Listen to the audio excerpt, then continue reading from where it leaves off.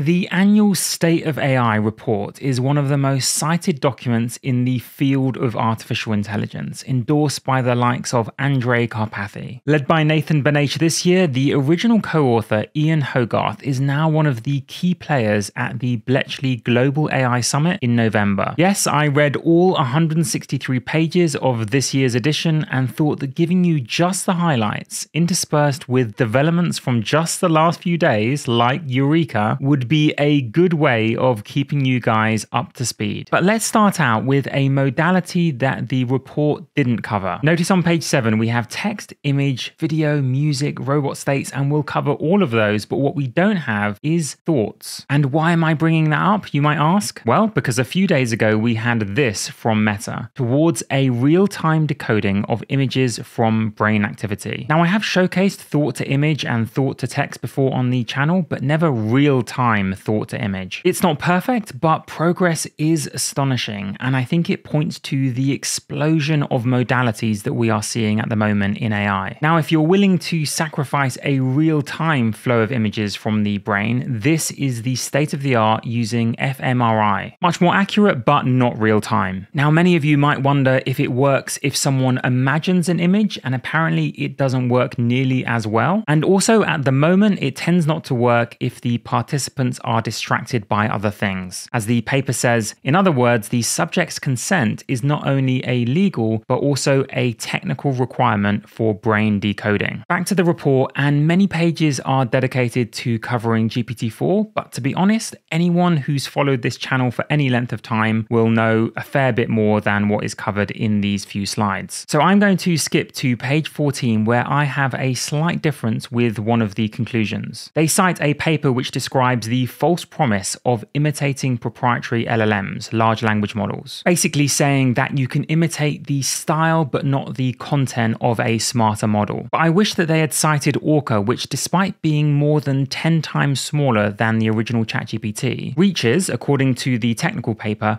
parity with ChatGPT on various benchmarks, showing only a four point gap in professional and academic examinations like the SAT, LSAT, GRE, and GMAT. That's maybe why the information reported on Microsoft trying to substitute for GPT 4 with Orca, claiming to mimic the quality of OpenAI software at a fraction of the cost. On page 38 of the report, they describe open ended learning with large language models, describing how they can explore and gain skills in a game like Minecraft. And they say that the best example of this kind of self improvement and iterative prompting is Voyager, which is again GPT 4 getting better and better at Minecraft. But just after the report came out, we got Eureka. And yes, it deserves its own video, but as Jim Fan, one of the key authors, said, it's like Voyager in the space of physics simulations. And essentially, what they did was feed the source code of the environment to GPT 4, and then they asked it to write the code for the reward function. And then using the sheer power of parallelization inside NVIDIA's Isaac Gym, they could then test out those reward functions, see which ones in simulation work the best. Thanks to GPU acceleration, you could speed up reality a thousand X. Each time, the best grading systems would be used, refined upon, and then tested again, all in simulation. Ultimately, Eureka rewards outperformed expert human written reward functions on 83 53% of the tasks performed. The average margin was 52%, and Eureka was able to learn even pen spinning tricks, which are notoriously difficult even for CGI artists. This marrying up of large language models and iterative feedback from the environment is probably the future of AI. As Shital Shah from Microsoft said, the proverbial positive feedback loop of self improvement might be just around the corner that allows us to go beyond human training data and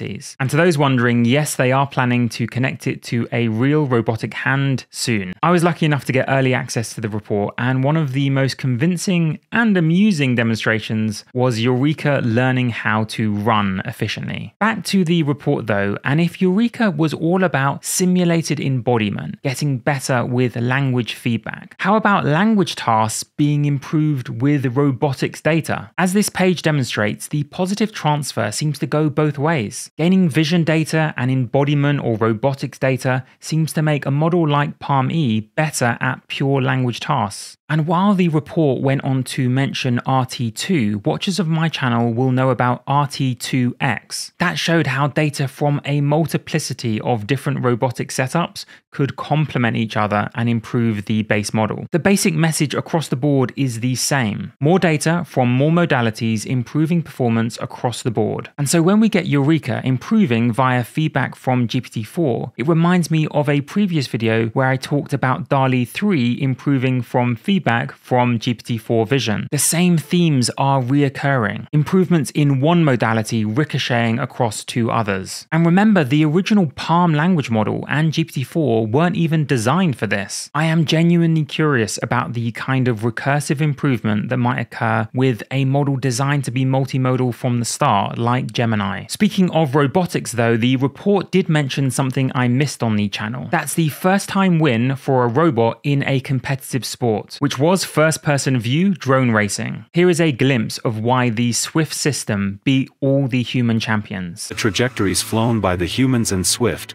we notice that the autonomous system is more consistent across laps and is able to take tighter turns. This gives it a decisive advantage in a race. Swift won multiple races against each of the human champions and achieved the fastest recorded race time.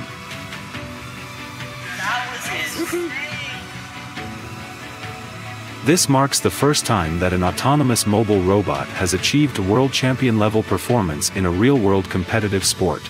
What might come next? Well, these have received approval in China for fully autonomous flights of an electric air taxi. Let me know in the comments if you would fly in one of these EHang drones. At the moment, I'm undecided.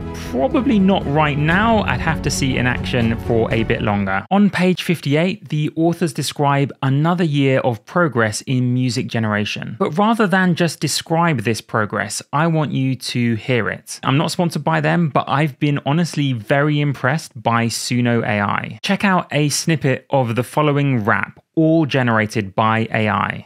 AI explained, breaking through the mold, diving deep, discovering secrets untold. Smarter than human, it's a whole new game. Unleashing power, a technological flame.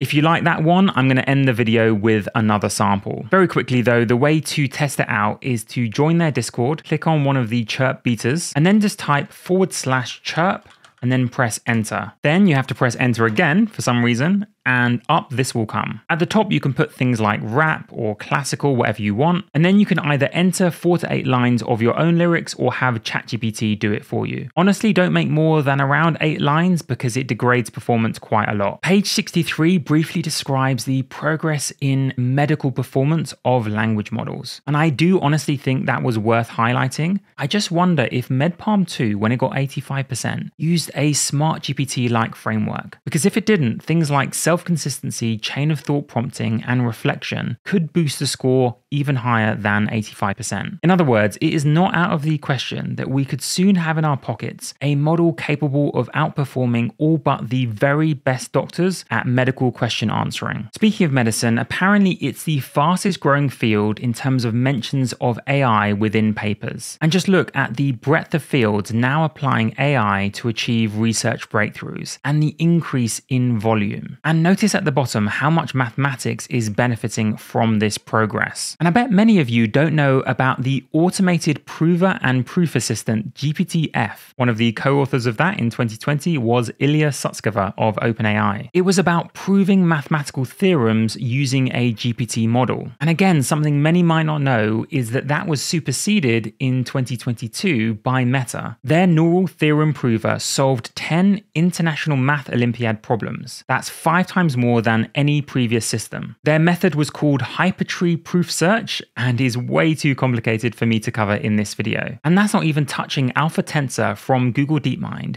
which improved upon decades old methods for matrix multiplication. That has direct ramifications for the usage of GPUs in modern day AI. Very quickly, what they did to automate algorithmic discovery was convert the finding of efficient algorithms for matrix multiplication into a single player game. And I love this bit. They say this game is incredibly challenging. The number of possible algorithms to consider is much greater than the number of atoms in the universe. And compared to the game of Go, which remained a challenge for AI for decades, the number of possible moves at each step of our game is 30 orders of magnitude larger. And it's these synergies that I'm interested in, the breakthroughs in one field that will then be applied to another, the state of the art results in one modality that push forward another modality. And the number of people trying to do this is multiplying as well. Honestly, I hadn't even heard of Imbue. Apparently, they have 10,000 H100s, which are the most cutting edge GPUs. I don't know how I missed an AI company with five figure numbers of H100 GPUs, but here's the CEO describing their approach. At Imbue, we're training large foundation models optimized for reasoning. On top of those models, we build agents that we use to accelerate our own research.